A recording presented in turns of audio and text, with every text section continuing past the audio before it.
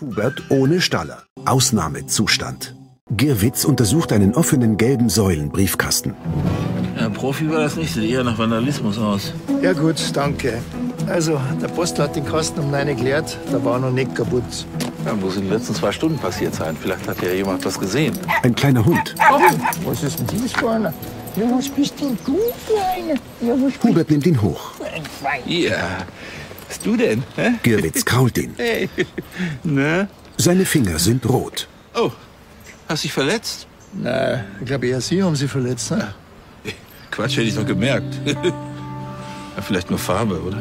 Na, Na, lass doch mal sehen. Wo kommst du eigentlich her? Komm her. Mit Handy So. scannt er den QR-Code am Hundehalsband. Jürgen Schäfer. Birkenallee 13. Telefonnummer ist auch dabei. 13 wäre da. Gegenüber. Ach so, ja. Der Hund läuft voraus. Hundehalsband mit Code. Haben die Viecher keinen Datenschutz? Als wir unseren Dackel damals verloren haben, ne? Und er hat ewig gesucht. Da wären wir froh gewesen, wenn wir so ein Halsband gehabt hätten. Dachel vielleicht nicht so. Herr Schäfer! Schauen Sie mal, wen wir mitgebracht haben. Schön. Girwitz sieht sich auf der Terrasse um. Hubert steuert auf die offene Terrassentür zu, durch die der Hund verschwunden ist. Er bleibt stehen und blickt auf den Boden. Im Wohnzimmer liegt ein Mann mit blutigem Hemd. ist doch Farbe.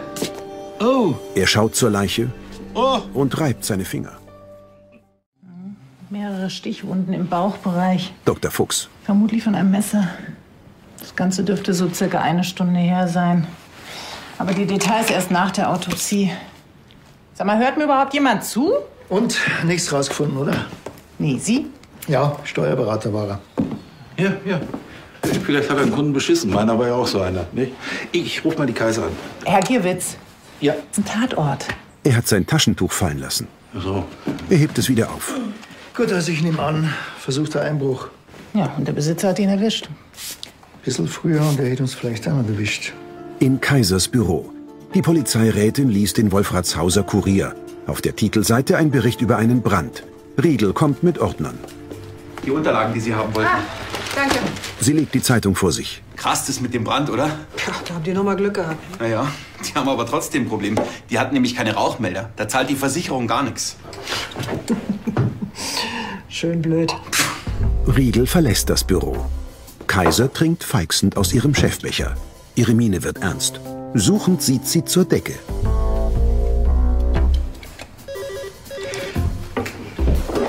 Kaiser? Herr Girwitz. Und, haben Sie den Posträuber gefasst? Mord? Ja, ja, ja, ja. Halten Sie mich auf dem Laufenden, ja?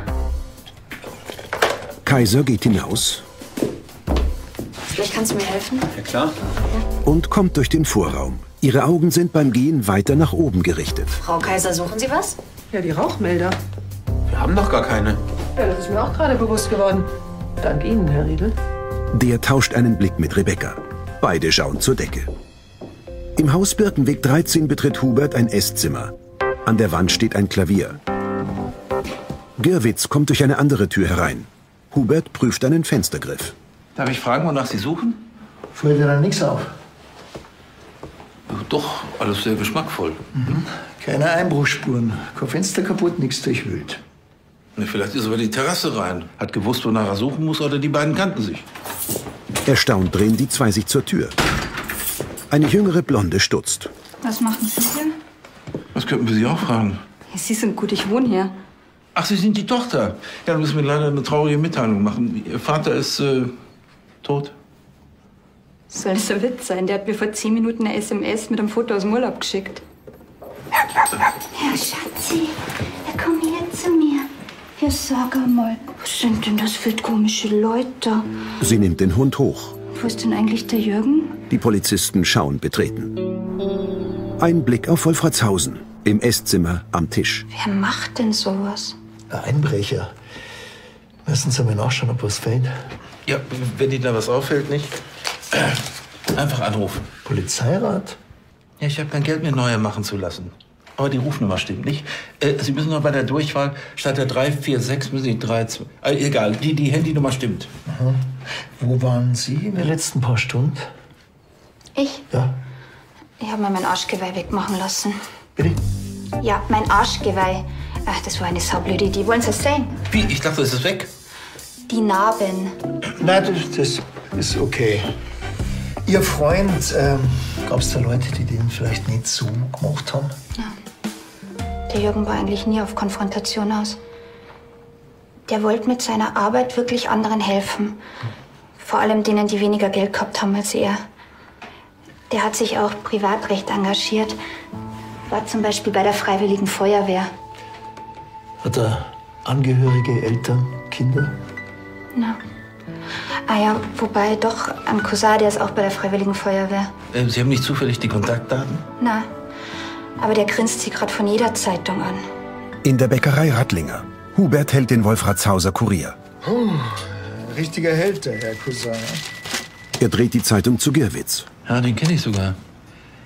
Wir haben einen Leitfaden für die Zusammenarbeit von Polizei und Feuerwehr erstellt. Uh, das klingt spannend. Ja, das war damals, als ich noch Polizeirat war. Barbara bringt Kaffee. Wahnsinn, oder? Was? Der Brendel, der war früher mal Stammgast. Und der hat ganz schön was weggelittert. Das hat kein Mensch glaubt, dass der mal zum Helden wird. Entschuldige, Sie saufen doch alle bei der Feuerwehr. No, no, no. Ey, ein Feuerwehrmann, der wen aus dem Feuer rettet. Das ist doch normal, das ist doch sein Job. Ja, also ein Finanzbeamter kann jetzt keine Menschenleben retten. Girwitz Handy. Aber gut schaut das. Ja, viel besser als früher. Nehmen Sie morgen früh sämtliche Post an sich, die Ihrem Revier zugestellt wird. Öffnen Sie sie unter keinen Umständen. Warten Sie auf weitere Instruktionen. Strahlt. Schaust du so?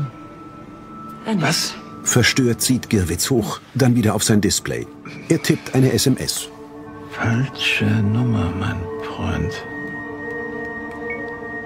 Ich bin nicht Ihr Freund, Herr Gewitz. Und kein Wort zu anderen. Sonst fackel ich Ihr Haus ab. Sie kennt sogar meinen Namen. Wer? Ah, nix. Ne, Du, äh, jetzt hol mal meinen Deckel. Barbara steht versunken da. Hallo, was ist? Ach so, Entschuldige. Ihre Antwort, Herr Polizeirat. Sie sind nicht mehr auf dem neuesten Stand. Ich bin geschieden und wohne da nicht mehr. Und ich bin nicht mehr der Revierleiter. Sagst du nichts mehr, mein Freund, wa? Aber das Wohl Ihrer Tochter liegt Ihnen doch sicher am Herzen. Strengen Sie sich an, wenn Sie nicht wollen, dass Johanna etwas zustößt. Nein. Girwitz eilt aus der Bäckerei und hält sich das Handy ans Ohr. Hi, wie geht's? Lang nichts gehört. Johanna, hör mir bitte genau zu. Kleiner Scherz, ich bin gerade nicht erreichbar. Ihr wisst ja, wie es geht. Johanna, hier ist der Papa. Bitte ruf mich sofort zurück, es ist dringend. Hubert kommt zu ihm. Girwitz wählt erneut. Haben Sie Ihre Ex immer noch unter Schatz eingespeichert? Das geht Sie doch gar nichts an. Nee, Mann, bloß nehmen Sie lieber was Neutrales. Schreiben Sie, äh, Frau? Ja, und was soll das ändern? Jetzt entspannen, Herr Ich bin entspannt. Er nimmt das Handy ans Ohr. Ah, verdammt. Da ist irgendwas los. Ach, nein, ich habe nur... Ist nur Ärger mit der Ex. Ich meine, ich muss da irgendwie den Eintrag ändern. Ja, ja, ja gesagt. Er geht. Girwitz schaut auf eine Nachricht. Ein Fragezeichen von Unbekannt. Ich werde tun, was Sie verlangen. Er tippt. Im Revier tritt Kaiser mit Klemmbrett auf den Gang.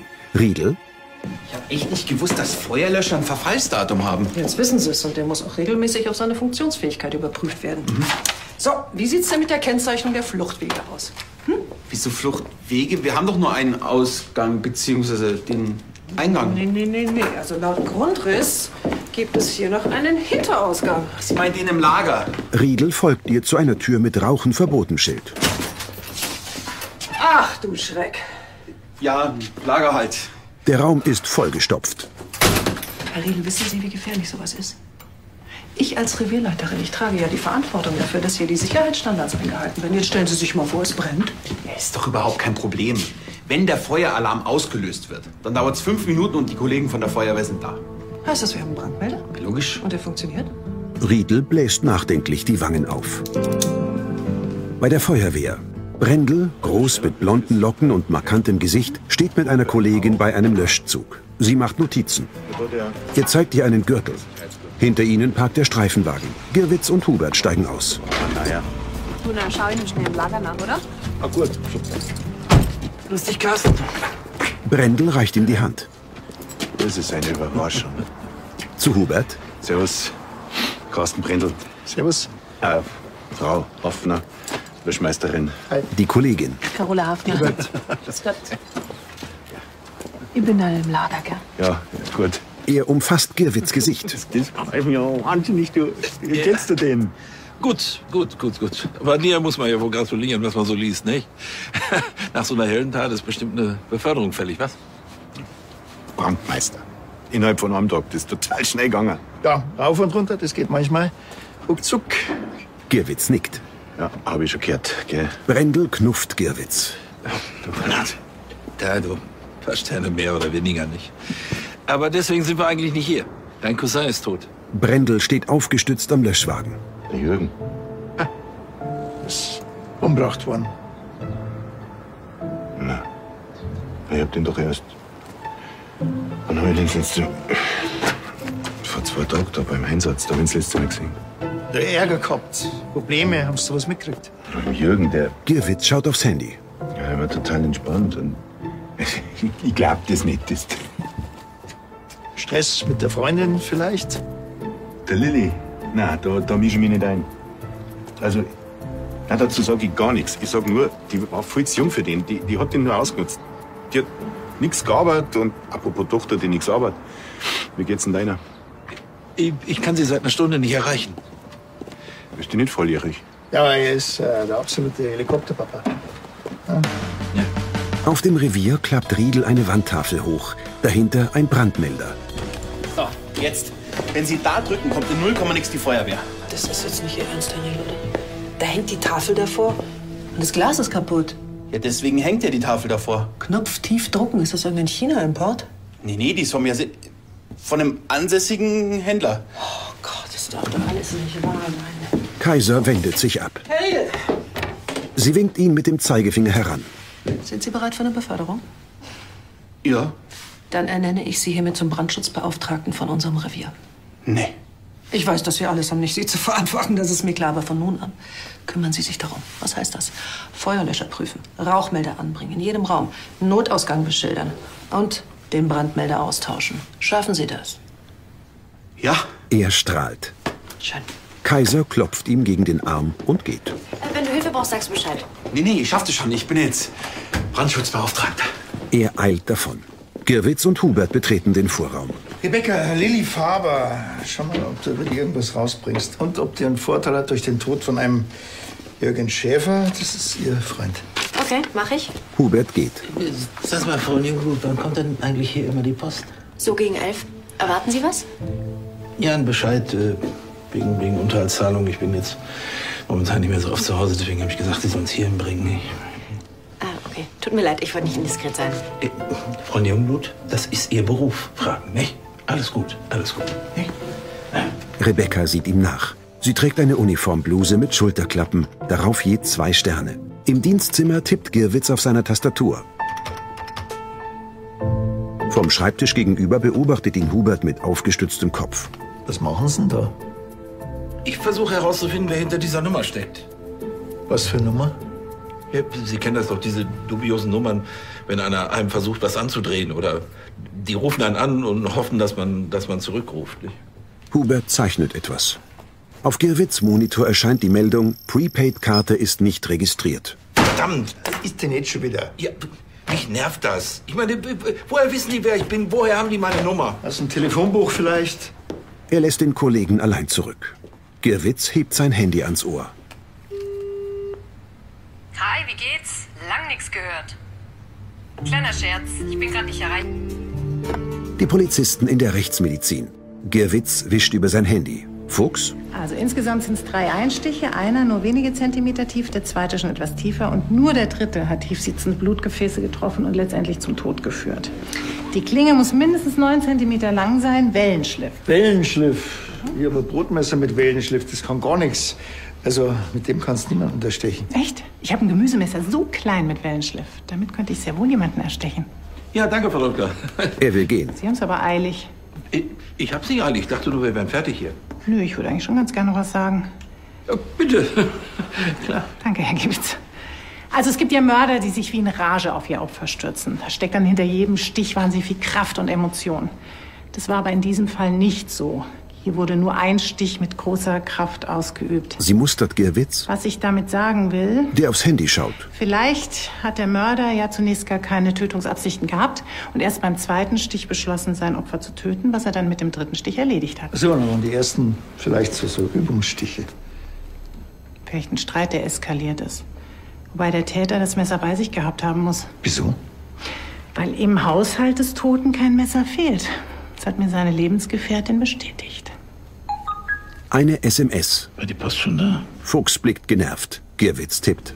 Noch nicht. Sagen Sie, hat er eine neue Freundin? Das ist schlimmer als bei meiner Tochter. Das kann man nicht vorstellen. Konzentriert starrt Gerwitz aufs Handy. Im Revier stellt Riedel einen Feuerlöscher auf einen Tisch. Er entsichert ihn, nimmt den Schlauch aus der Halterung und drückt den Auslöser. Aus der Düse strömt weißer Nebel. Von wegen abgelaufen. Er steckt den Schlauch wieder ans Gerät und stellt es zurück. Ein sonniges grünes Tal im Nebel, am Horizont Bergketten der Alpen. Auf dem Revier. Girwitz kommt, gefolgt von Hubert, in den Vorraum. Von hier unten, war die Post schon da? Nein, tut mir leid. Ähm, aber ich habe was anderes rausgefunden, wegen dieser Lilly. Laut Versicherer hat Jürgen Schäfer erst vier Monate vor seinem Tod eine Lebensversicherung abgeschlossen, und zwar zugunsten seiner Lilly. Ah, haben Sie es gehört? Girwitz schaut aufs Handy. Das mit den Unterhaltszahlungen macht ihm ganz schön zu schaffen. Ja, was? Nichts. Ähm, ich habe noch was. Äh, genau, und zwar vor drei Jahren. Anzeige wegen Ladendiebstahl, Kosmetika im Wert von 75 Euro und eine Anzeige wegen Körperverletzung hat sie auch bekommen von einem Kontrolleur in der S-Bahn. Das sind aber auch Deppen, ne? Oder? Was sagen Sie, Herr Gewitz? Ja, unbedingt. Hubert geht. Äh, äh, von Jungblut, äh, Sie sagen Bescheid, wenn der Postbote kommt, ja? Ja, mach ich. Auf dem Gang steuert Girwitz das Dienstzimmer an. Ich gebe jetzt falsche Richtung, da geht's hin. Äh, Wo wollen Sie jetzt schon wieder hin? Ja, zur Faber wegen dem Tattoo. Äh, Ich kann jetzt hier nicht weg. Das muss warten, das, das Verhör. Wieso muss das Verhör warten? Kaiser steht hinter ihm. Äh, Da äh, haben Sie verhört. Ich, na klar, kommen Sie. Riedel kommt mit Leiter und Rauchmeldern. Einer fällt runter. Nee, aber Sie machen das schon ganz schön, wirklich. Äh, hier im Gang würde ich zwei anbringen, einen da hinten, einen da vorne. Aber Sie brauchen mich jetzt nicht jedes Mal rufen, wenn Sie, wenn Sie eins angebracht haben. Das wäre sehr nett. Ich vertraue Ihnen da, ne? Er kippt die Rauchmelderschachtel aus. Hubert und Girwitz gehen zum Streifenwagen. Seien Sie mal nicht böse, aber seit gestern, da wirken Sie irgendwie... Wie, wie wirklich? Ja, ja, komisch. Also, äh, also anders komisch. Komischer als sonst. Unsinn. Also, Sie steigen ein. Ein Postbote kommt angeradelt und hält vor dem Revier. Moment. Girwitz springt aus dem Wagen und rennt ins Revier. Dabei stößt der Unterriedel die Leiter weg. Moment, Moment. Ja, Der hängt in der Luft an einem Deckenbalken. Gerade gekommen. Ich hoffe, es ist ein fairer Entscheid. Ja. Girwitz zieht die Post durch. Ein Umschlag. Da ist er. Ähm, der ist an die Revierleitung adressiert. Ja, tatsächlich. Äh, Beide ziehen am Umschlag. ja, gut. Er lässt los Sorry. und steht unschlüssig vor Rebecca. Ja, dann. Ein Blick von draußen durch das Fenster in Kaisers Büro. Die Chefin sitzt am Schreibtisch. Rebecca bringt ihr die Post. Kaiser legt die Werbung beiseite und greift nach dem Umschlag. Im Streifenwagen blickt Hubert genervt aus dem Fenster. Im Büro prüft Kaiser den Umschlag. Girwitz schaut zum Fenster herein. Ja, Polizeiober Franzhausen, Kaiser. Herr Bürgermeister. Na, ich habe das Haus besucht. Sie legt die Post weg. Ja, wenn Ihnen das gerade passt, dann können wir das gerne in Ruhe durchgehen. Ja? Bei Lilly Faber im Wohnzimmer. Girwitz sitzt in einem Sessel und fingert an seinem Handy herum. Warum ich mit dem Jürgen zusammen war? Was ist denn das für eine blöde Frage? Fragen Sie sich das auch, wenn Sie eine Beziehung haben? Ja, und meistens finde ich keine Antwort. Aber es war nie wegen Geld. Moment einmal. Wollen Sie mir jetzt gerade unterstellen, dass ich nur wegen der Kohle mit ihm zusammen war? Entschuldigung, der schließt die Lebensversicherung ab, kurz danach wird er umgebracht. Also, Ich hab den Jürgen geliebt und er mich. Wie kommen Sie denn auf so einen Schmarrn? Hat es Cousin erzählt, oder? na, Ja, ist klar. Ich weiß schon, was der von mir denkt, aber wissen Sie was, das ist mir wurscht. Das ist einfach nur ein fertiger Alkoholiker, der niemanden mehr hat. Sogar seine Frau ist ihm weglaufen. Moment einmal. Das ist aber nicht der Brendel, der gerade einen Heldenstatus hat. Ja, doch, genau der. Der will mich fertig machen, aber ich lasse es nicht zu. Vielleicht haben sie gestritten, die beiden. Wäre nicht das erste Mal. Ja, dann müsste man doch ihr Alibi überprüfen. Also die Geschichte mit dem Tattoo, dem entfernten Tattoo. Ja, gar kein Problem. Ich zeige Ihnen liebend gern meinen Hintern. Haben wir Post? Zu Gewitz? Hey, Foto ist für nicht, gell? Was? Und, nein, nein, ich muss hier nur schnell was. Nee, nee, lass ihn nicht stören, nicht? Alles unter Kontrolle. Jetzt tun Sie mal die scheiß Handy weg. Hey, würden Sie jetzt gefälligst mal meinen Hintern anschauen? Ich habe heute noch ein Begräbnis zu organisieren. Mit offenem Gürtel steht die blonde Lilly da. Der Streifenwagen nähert sich auf einem einspurigen Fahrweg zwischen üppigen grünen Wiesen. Das Laub der Bäume ist herbstlich gefärbt. Das hat aber schon ein bisschen was von Exhibitionismus gehabt. Können wir jetzt bitte zurück ins Revier fahren? Sie haben doch gehört, was die Faber über Brendel gesagt hat. Über ihren Freund. Das ist nicht mein Freund. Das nennt man Connections, nicht? Und außerdem können wir uns nicht mal jemand vorladen, hä? Sind ständig außer Haus. Oh, es ist echt schwer mit Ihnen. Vorladen, nicht vorladen, raus, rein. Was wollen Sie denn eigentlich?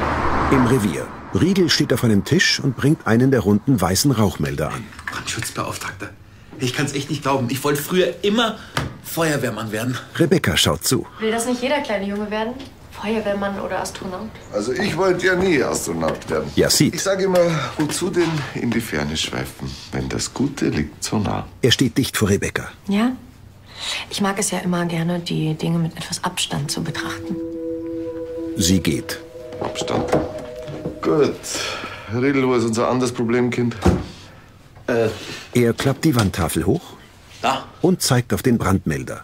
Yasid nickt. Bei der Feuerwehr in einer Halle. Brendel stoppt die Zeit von seiner Kollegin Hafner. Neuer Rekord. Und? Auf geht's. Der nächste rennt los.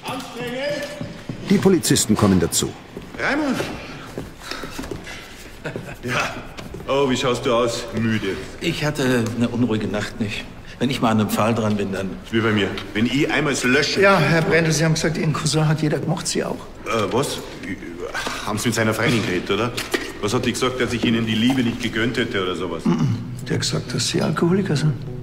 Wie, das hat sie gesagt? Brendel breitet die Arme aus. Ja, also der Jürgen und ich, wir hatten letztes Jahr ein paar nicht so schöne Diskussionen. Ich habe nämlich pro Tag einen Träger Bier reingestellt und äh, zwei Schachteln Zigaretten. Dann hat sich mein Arbeitgeber von mir getrennt, meine Frau auch. Und hier, Freiwillige Feuerwehr, hat mich freigestellt. Wusste ich gar nicht. Aber dann Entzug, stationär, sechs Monate. Jetzt bin ich wieder draußen. Seit zwei Wochen. Hafner, Und seit drei Tagen ist er der Held bei uns. Jetzt hör auf mit Ihrer Heldennummer. Ja, nein, ich war heute als Erster vor Ort, mei. Und ich bin froh, dass ich eine zweite Chance kriege. Äh, Was macht denn der Mann da? Das ist unser Trainingsparcours. Genau, von der Freiwilligen Feuerwehr. Muss jeder jedes Jahr einmal durch und wer länger braucht, bei fünf Minuten, ist raus hier. Weil bei der Feuerwehr gilt, Zeit ist nicht Geld. Na, Zeit ist. Leben. Ja, das ist bei uns nicht anders. Nee. Habt ihr auch so eine Tauglichkeitsprüfung? Na, wir sind ja nicht die freiwillige Polizei, also sowas brauchen wir nicht. Und? Was ist? Traut euch?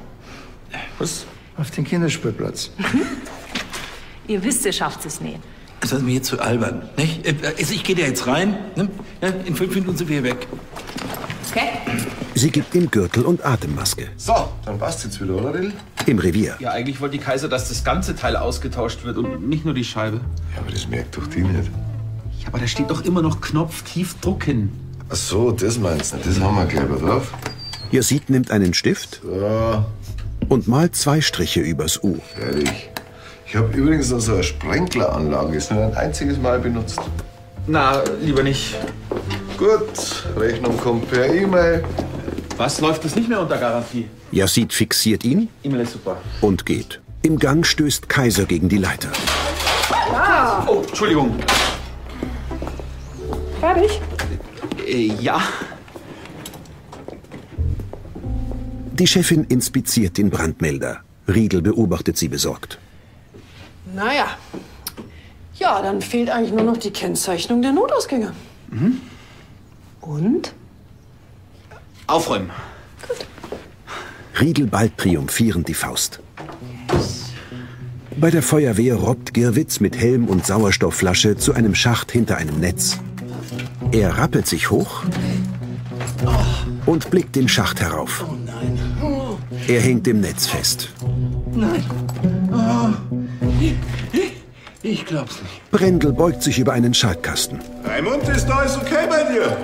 Ja, ja, ja, alles, alles okay. Ich, schaue mir nur gerade die Konstruktion an. Das ist sehr interessant. Sehr interessant. An den Seiten Querhölzer. Der Knopf da, da kann man Rauch einleiten und der Knopf da, authentische Lärmkulisse. Zieht ein Stresslevel nun mal weiter an. Aber das ist nichts, wenn man keine Übung hat. Ah, die hat Übung, da kannst du voll auftragen. Ehrlich? Ja, ja. ja auf Ihre Verantwortung. Riegel stößt die Leiter gegen den Brandmelder. Entschuldigung. Wie macht man das Ding denn aus? Keine Ahnung. Am Schaltkasten greift Brendel zu einem Telefonhörer. Das ist keine Übung. Ich wiederhole, das ist keine Übung. Im Revier. Kann man denn hier nicht mal in Ruhe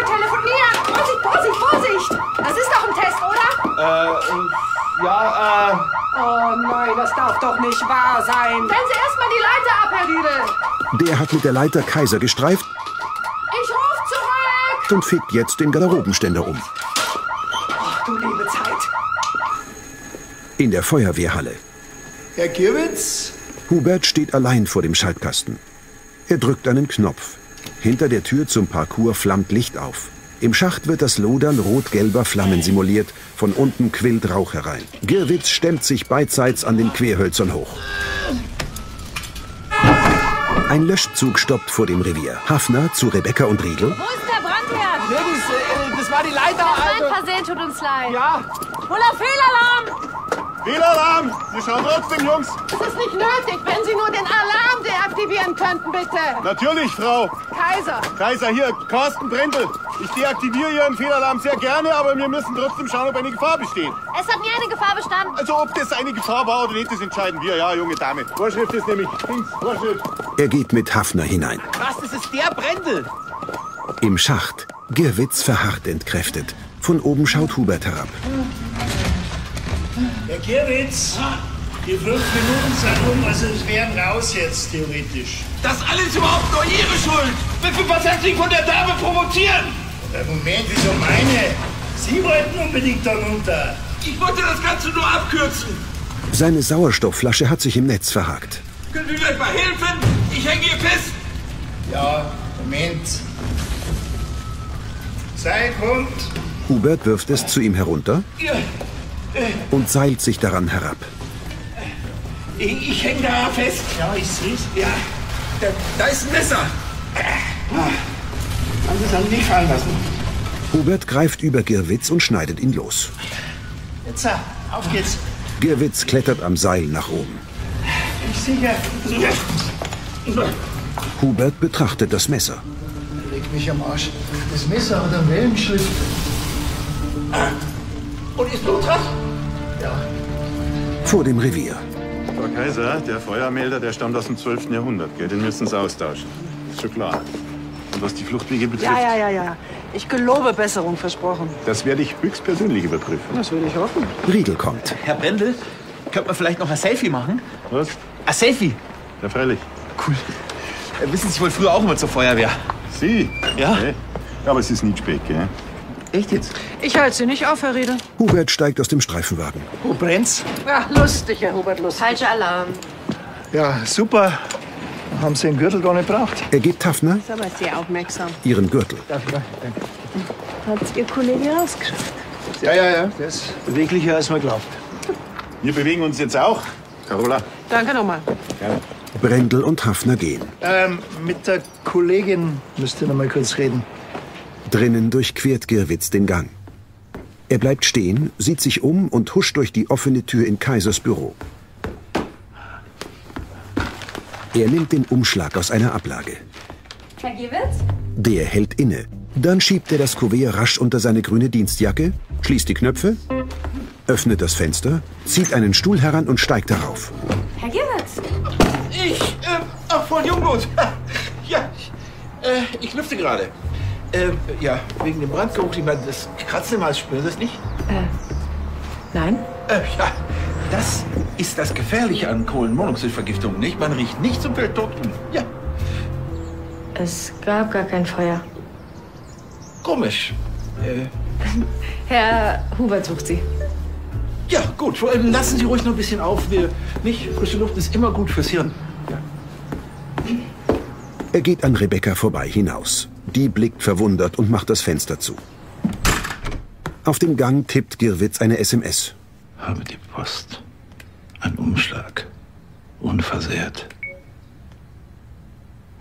Mülleimer im Eingang Märchenwald. In einer Stunde dort ablegen. Hubert kommt. Da sind's. Wollen Sie gar nicht dabei sein beim Verhör von der Hafner? Ja, nee, nee. äh, Kann das nie warten? Was gibt's denn schon wieder so Wichtiges, Herr Gewitz? Äh, Ich wollte nur frisch machen, äh, damit ich einen kleinen Kopf hab beim Verhör, nicht? Obwohl, wir, wir können auch gleich. Die Polizisten steuern auf ihr Büro zu. Streng schaut Kaiser ihnen nach.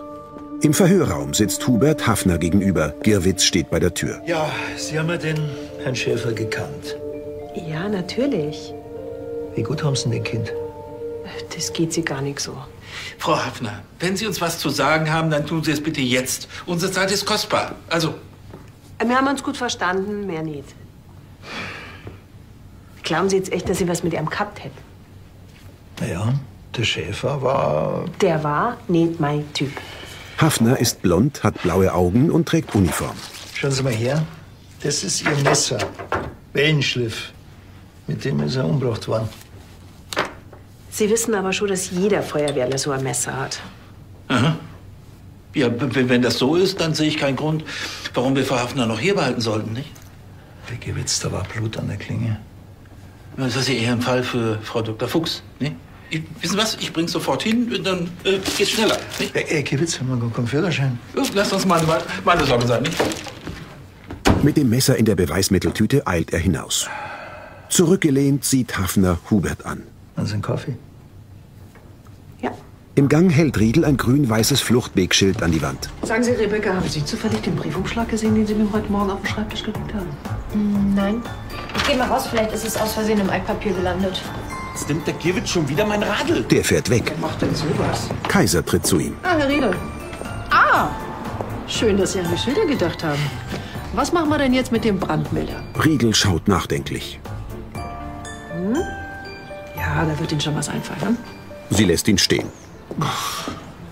Im Verhörraum hebt Hafner einen Kaffeebecher zum Mund und trinkt. Also, wenn die Pathologin irgendwelche Spuren findet, dann wird's ganz eng für sie. Mhm. Die werden schon was finden. Was? Ja. Fetzen vor Haut. Fleischpartikel. Vielleicht sogar bis halb Blut. Heißt das, Sie geben's zu?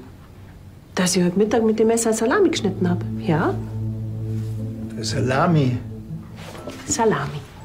Aha, und die haben's dann wahrscheinlich zusammengegessen, oder? Glauben Sie jetzt wirklich, dass ich was mit dem Mord zu tun hätte? Ja, glauben Sie mir, Hocker da zum Spaßbein um. gell? Vor einem eingezäunten Freizeitpark steigt Girwitz vom Radl. Er stellt es ab. Girwitz holt das Kuvert aus einer Tasche am Gepäckträger und deponiert es in einem Abfallkorb neben einer Sitzbank. Hektisch sieht er sich um und schiebt das Rad ein Stück weiter. Ein Obdachloser nähert sich der Bank mit einem Einkaufswagen mit leeren Flaschen. Der Polizist stellt das Rad erneut ab und schaut aus geringer Entfernung zu dem Mann. Der durchwühlt den Abfallkorb. Er zieht eine leere Pfandflasche heraus und legt sie in seinen Wagen. Dann greift er nach dem Kuvert und mustert es prüfend. Sie da? Was fällt Ihnen ein? Sie können doch nicht einfach fremde Post aufmachen. Er entreißt ihm das Kuvert. Rebecca kommt auf ihrem Motorroller. Herr Gerrit! Ein Glück, Sie haben den Brief gefunden. Ich habe den überall gesucht. Danke. Sie setzt sich darauf. Ja, dann bis gleich, ne? Baff sehen Girwitz und der Obdachlose Rebecca nach. Girwitz trägt Riedels Helm, der Obdachlose eine Pudelmütze. Im Verhörraum. Hubert nimmt sein Handy ans Ohr. Herr Gewitz? Ja, was sagt denn die Frau Fuchs? Äh, Hubert, ich muss Ihnen gestehen, ich, ich war noch nicht bei der Fuchs. nicht? Auf einem Gehweg. Ich, ich weiß, ich, ich bin in letzter Zeit nicht mehr ich selbst. Ja, das stimmt. Jemand, jemand erpresst mich. Was? Wer? Wenn ich das mal wüsste, ich meine, äh, und das Schlimmste ist, ich, ich habe den Brief nicht mehr. Was für ein Brief? Ja, den Brief, der, der in zehn Minuten äh, i- i- im Papierkorb a- am Märchenbad liegen muss. Äh, Sonst passiert meiner Tochter was. Hubert, Hubert, Sie müssen mir helfen. Ist, ist das Ihr Ernst? Äh, Ja, ich, ich, ich habe doch sonst niemand. Nein, ich meine das mit Ihrer Tochter. Ja, ja. Warum sagen Sie das nicht gleich, Herr Gierwitz? Wir hocken da zusammen in einem Büro. Was soll ich sagen, Hubert? Ich, ich bin momentan am Boden zerstört. Ich, ich, Halten Sie ihn hin, den Erpresser. was, wie denn? Ja, indem Sie einen anderen Brief im Müll schmeißen. Hafner trinkt. Äh, Ja, welchen Brief denn? Ich meine, ich weiß doch nicht mal, was, was in dem Original drin war. Wir treffen uns bei der Rattlinger. Ja. Äh, Danke. Gierwitz geht zum Rat zurück. Im Verhörraum zu Hafner. Sie bleiben im Ort, bis wir das mit Ihrer Salami geklärt haben. Hubert steht auf, greift nach seiner Polizeilederjacke und geht. Hafner schaut empört. Ihr Haar ist zu einem Pferdeschwanz gebunden. Sie nimmt den Gürtel und ihren Helm vom Tisch und erhebt sich. Ein Blick auf Häuser und den Starnberger See. Im Sonnenschein kommt der Streifenwagen eine schmale Straße entlang und biegt auf den Parkplatz der Bäckerei Rattlinger. Drinnen an einem Stehtisch die Polizisten. Hubert hält Briefumschläge. Girwitz tippt in sein Handy. Aber den Umschlag Also welchen wir? verspäte mich. Herr Gierwitz, wie hat der Umschlag ausgeschaut? Ja, wurscht, dann nehmen wir den da. Der, der ist viel zu klein. Der ist viel zu, viel zu klein. Äh, äh, Warten Sie mal. Das hier, der hat Luftpolster vor mir, das geht nicht. Der hier, so was, der war's. Hat's doch die Noppen nicht kaputt. Was wollt ihr überhaupt verschicken? Eine gute Frage, Frau Hansen, gute Frage. Welche Probleme möchte ich haben? Das funktioniert nicht. Das, das kann nicht funktionieren. Herr Gierwitz, wie hat sich das angefühlt in dem Umschlag? Ich, ich, was, also wenn ich ehrlich bin, wie, wie, ein, wie, ein, wie ein Flachmann und, und ein Feuerzeug. Flachmann und ein Feuerzeug? Ja, ich weiß auch, dass es das nicht gewesen sein kann. Verschickt halt was, was jeder brauchen kann. Was weiß ich, Stifte, Schokolade, Servietten, Teelichter. Frau Hans, es geht hier nicht um Geschenk.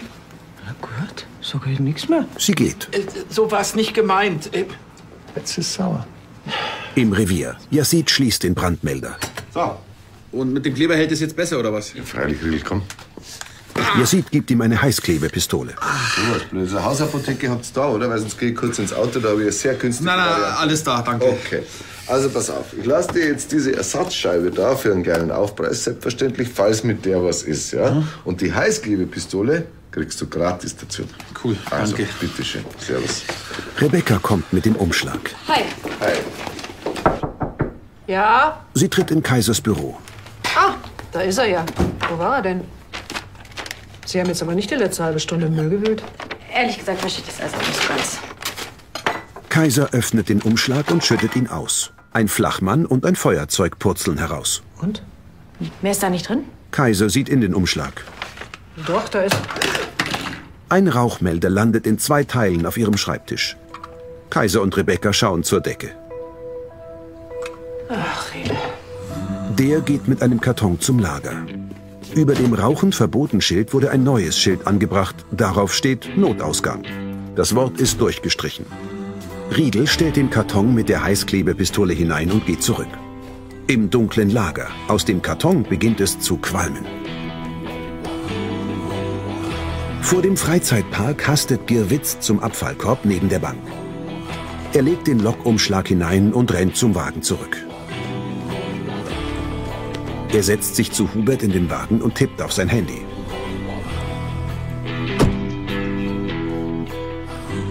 Geht, ausgeliefert. Hubert späht aufs Display und schnell wieder nach vorn. Wartend sitzen die Polizisten mit Blick auf den Abfallkorb im Streifenwagen.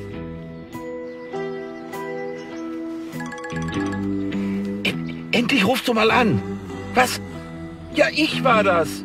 Ja, was soll das heißen, Telefonterror? Ich hab mir halt Sorgen gemacht. Ach, vergiss es. Weißt du, wo Johanna steckt?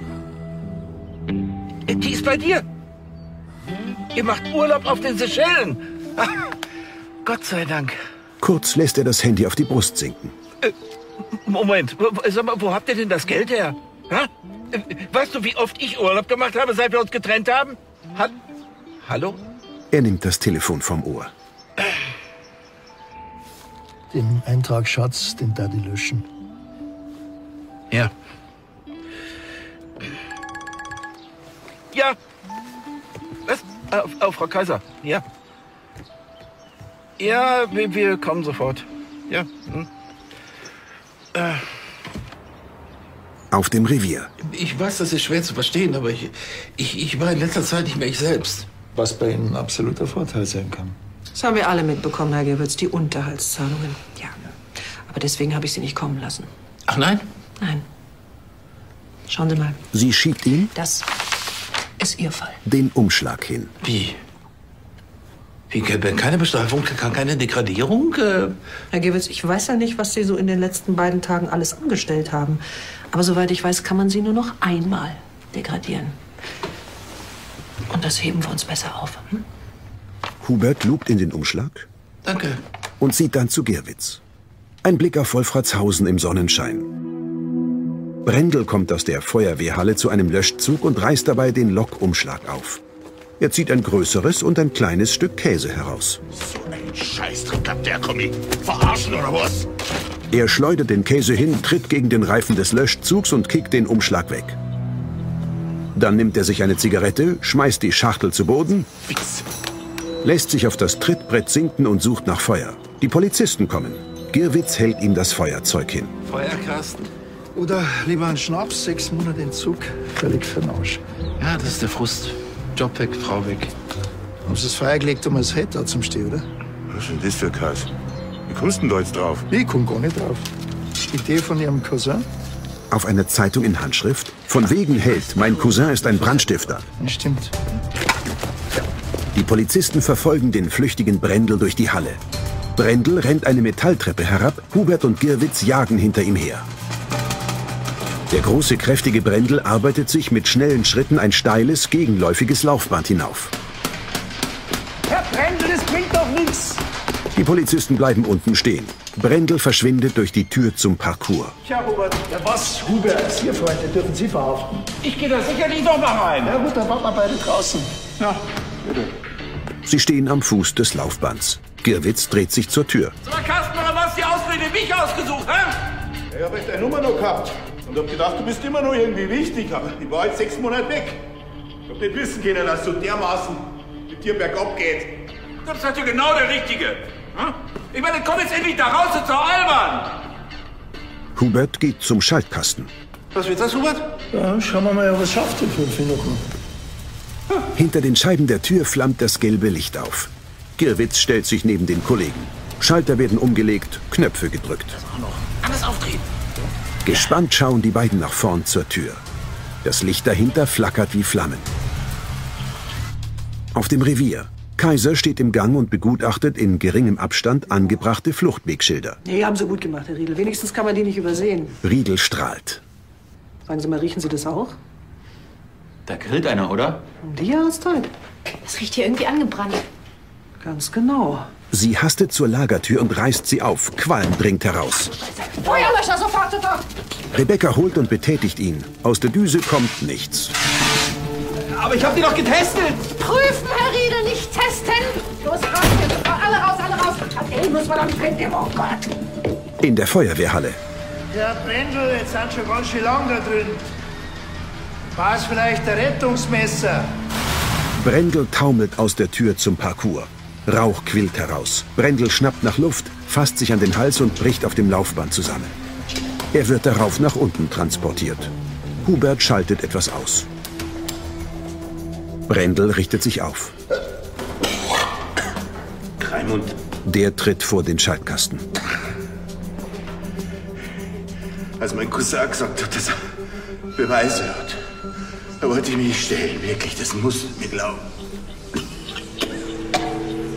Aber wie dann die Zeitungen erschienen sind und alle mich als Held gefeiert haben, da, da haben sie mich hier zum stellvertretenden Kommandanten ernannt und mein Arbeitgeber wollte mich wieder einstellen, mein, mein Ex hat mich wieder angerufen, ich das alles wegschmeißen soll. So, da haben Sie lieber Ihren Cousin umgebracht. Na,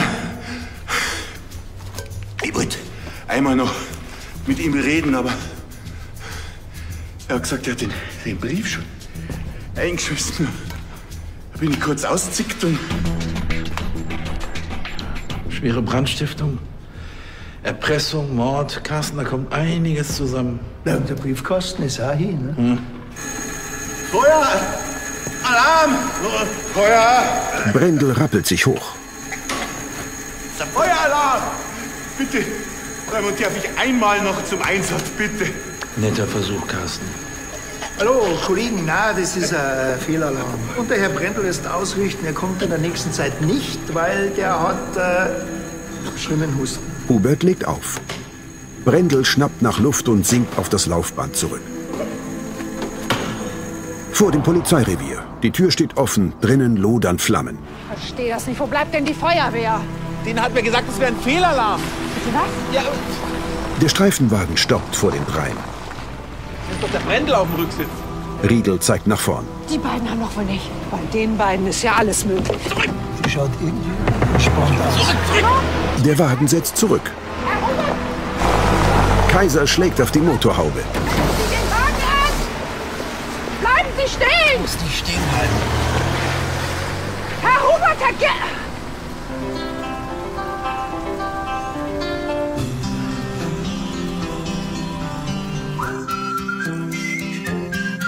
Das war Hubert ohne Staller. Ausnahmezustand aus dem Jahr 2019. In weiteren Rollen Jeanne Gourceau als Rebecca Jungblut, Susu Padotzke als Rechtsmedizinerin Dr. Caroline Fuchs, Hannes Ringelstetter als Yassid, Wolfgang Maria Bauer als Carsten Brendel, Stefanie van Poser als Carola Hafner. Drehbuch Philipp Kätner, Regie Sebastian Sorger.